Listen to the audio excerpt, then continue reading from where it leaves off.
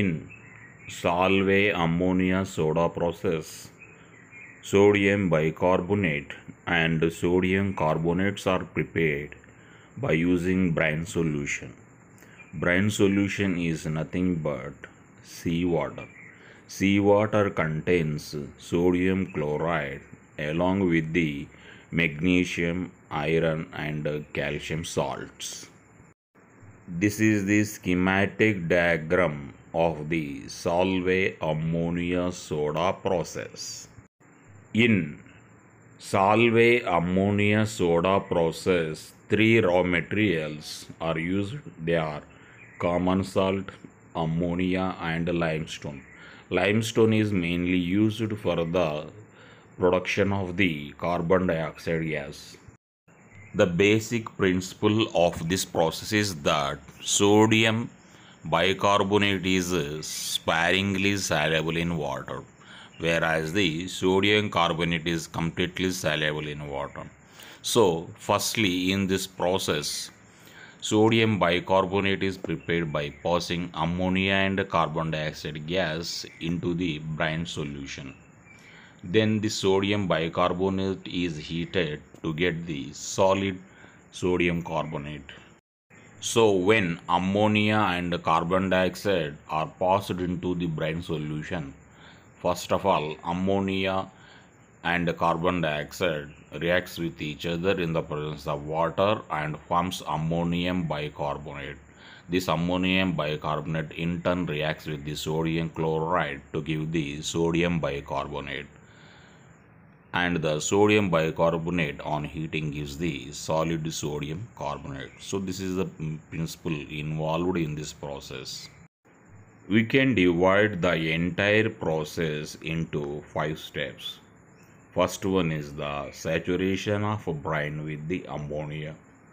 Second step is the carbonation and the third step is the filtration Fourth step is ammonia recovery and the fifth step is calcination. First step in the Solvay's process is the saturation of brine with ammonia. In this step, ammonia gas is passed into the brine solution which is kept in the ammonia absorption tower and is allowed to stand for some time. In this process, the impurities like magnesium, calcium, and iron ions are removed in the form of their hydroxides and carbonates. The second step in Solvay's process is carbonation. Saturating a solution with carbon dioxide gas is known as carbonation.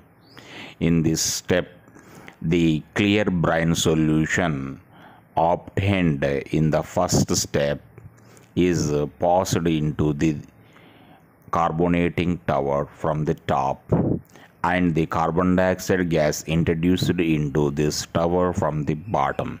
This carbonating tower is uh, packed with the perforated plates.